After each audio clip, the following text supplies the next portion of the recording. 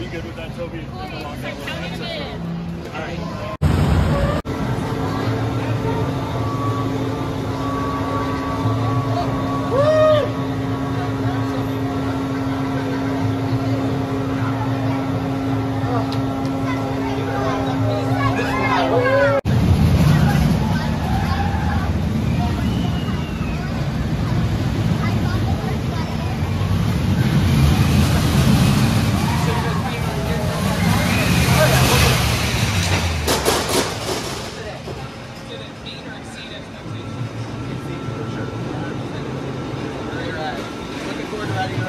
summer